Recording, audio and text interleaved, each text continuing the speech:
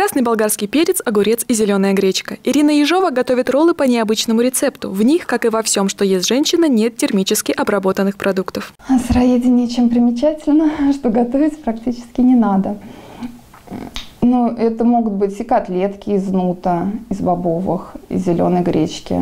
Из зеленой гречки вообще много всего можно приготовить. И творожки, и кашки, и десерты.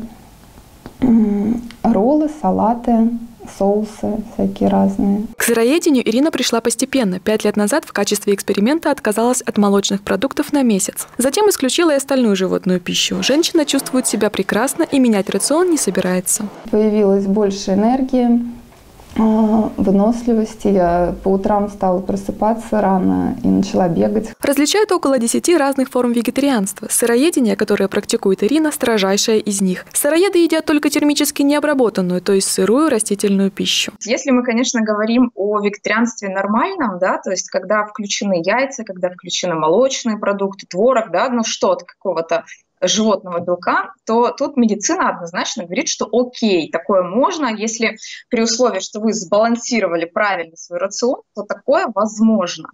Если же мы говорим о строгом вегетарианстве, да, где абсолютно не разрешены никакие виды животного белка, то, конечно, тут медицина говорит, что это ну, не полезно. Основа правильного или здорового питания – баланс белков, жиров и углеводов. Отказ от животной пищи влечет за собой дефицит белка и аминокислот, восполнить который не так просто. Организм берет белок из мышц, в том числе и из сердечной мышцы, что может привести к сердечному приступу. Часть аминокислот только в животной пище содержится. То есть мы никак их не можем восполнить. Никак.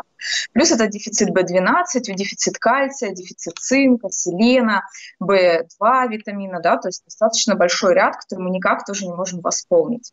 А, теоретически мы можем пить какие-то биологически активные добавки да, в виде витамин, но они тоже, опять же, очень плохо усваиваются, и это, конечно, лучше получать из пищи. Вегетарианство может быть полезно для одних и смертельно опасно для других. Подобные эксперименты с питанием запрещены при заболеваниях желудочно-кишечного тракта, а также сердечно-сосудистой системы. И если вы все-таки решили изменить свой рацион, обратитесь за консультацией к специалисту.